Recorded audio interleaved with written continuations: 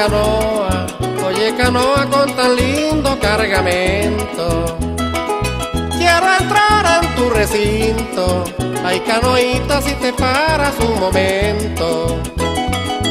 Para besarle la mano a la flor que lleva adentro y pedirle a tu patrón que me lleve por supuesto, que yo seré el palanquero contra la La sinfonía del guamal me servirá de instrumento para cantar mis canciones en pos de agradecimiento, porque al lado de una dama quien no se siente contento. Temprano te vi bajar, te vi bajar bordeando el barranco puesto. Cuando un pañuelito rojo, pañuelo rojo sobre su pelo sujeto. Me identificó la dama que me volvió el alma al cuerpo cuando una idea de llanero se vino a mi pensamiento de correr por la sabana cortándole por derecho. Porque sabía que en la vuelta la iba a sorprender mi encuentro. Si es que una presión de amor por poco me tranque el pecho y el jarabe que me cura lo llevas en tu aposento.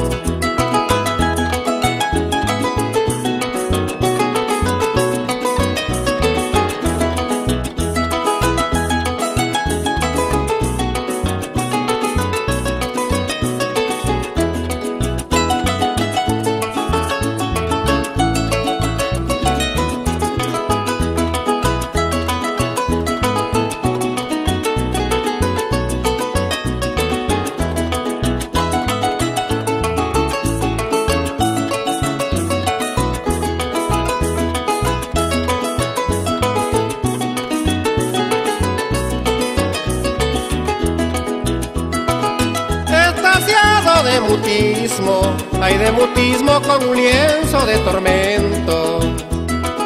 Me encontraba en la barranca, solito y triste sumergido en el silencio. Hoy miro el caudal del río con su juego turbulento, rebustecer los deseos de los envidiosos necios que quieren verme sumido en dolor y sufrimiento. De que se la hayan llevado yo culpo los malos cuentos de gente sin corazón que usan el mal por sustento y con el dolor ajeno gozan un ciento por ciento. Canoa, llévame contigo, yo te lo exijo, acéptame un pedimento. Que no me dejes morir, dejes morir teniendo el medicamento. Contagiado de emoción, gritaré los cuatro vientos que para viajar contigo por el mundo estoy dispuesto, porque al lado de mi amada no puedo sentir mal tiempo. A un rinconcito lejano de tantos del firmamento, le pido que me conduzcan, que allí formaré mi asiento, donde nadie nos envidia ni nos perturbe lo nuestro.